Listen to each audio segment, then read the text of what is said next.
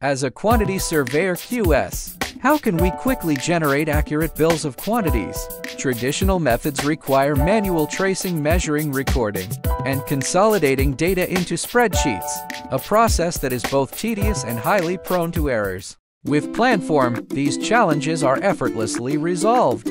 Before starting your measurements, create batch categories based on attributes, like specification, material, or zone. All measurement and counting results will be automatically organized into these predefined categories. Now let's begin measuring. Start by selecting the preset scale function to uniformly calibrate the drawing based on its designated scale. Use the continuous tool to quickly measure linear elements. For example, a 240 millimeters wall. Results are displayed in real time and automatically logged under the category. Use the autofill tool to measure irregularly shaped areas, such as an accessible route, to instantly obtain accurate perimeter and area values. These are automatically recorded under the category.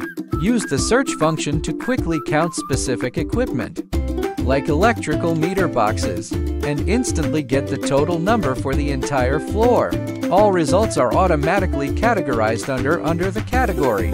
Once all measurements are completed, export all data to Excel with one click.